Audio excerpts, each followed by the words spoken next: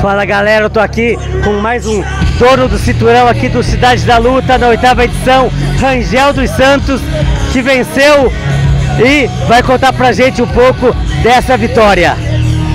Primeiramente, boa noite aí. Treinei duro pra caramba.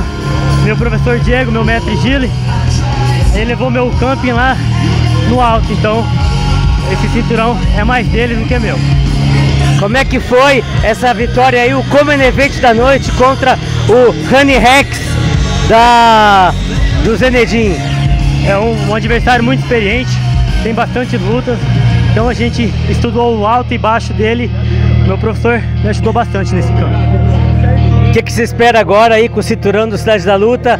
Vai esperar a defesa? Como é que, como é que se espera essa decisão agora no, nas próximas edições do evento? Ah, tudo depende do, do mestre Gile aí, o que ele coordenar, nós nós tá fazendo. Tá certo então, parabéns Valeu. pela vitória. Cidade da Luta 8 aqui na primeiro round.